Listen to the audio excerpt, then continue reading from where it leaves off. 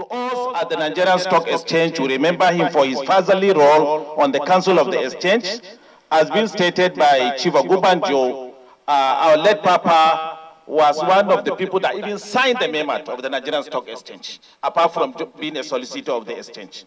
The many companies that he invested in and encouraged to lead on the exchange and the initiatives he championed in corporate law, which made impact on many companies most importantly as one of the signatories of the Nigerian Stock Exchange.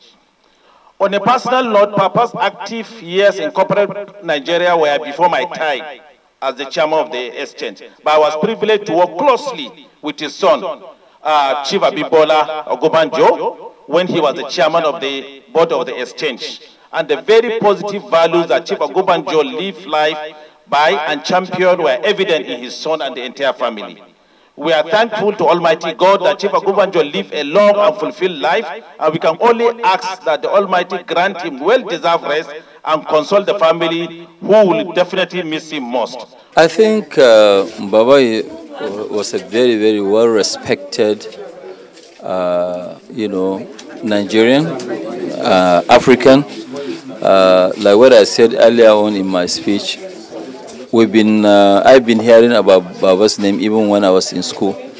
So he was actually the titan of industrialization, uh, titan of uh, you know the legal profession in Nigeria, especially when it comes to commercial law. Uh, he was the person that actually registered the stock exchange, of which now were the beneficiaries. So Baba will remain in our hearts for a very, very long time because of what he had actually done in this, uh, you know, life. So we cannot say anything but just to continue to pray for the repose of his soul. I may the Almighty God, you know, uh, you know, uh, may his soul rest in perfect peace. Amen. I was an extraordinary individual, deeply committed to Nigeria and much strongly expressing in the works that he did in industry, in law, in commerce, in the development of society. Papa was a devout uh, Christian and he, was, he led a life of continuous encouragement and promotion of the very best for the Nigerian citizens and the citizens of our dear country.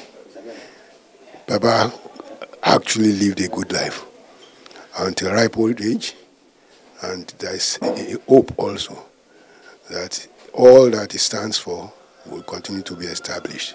Baba was great. What's Thank your you. message to the young generation, considering the life Baba lived? One would be really confident and happy that the young generation have actually responded too, too much to the good training that has been extended to them. And I see their performances in the diversity of creativity that they continue to render, to render and uh, the hope that has been inspired by them for the future.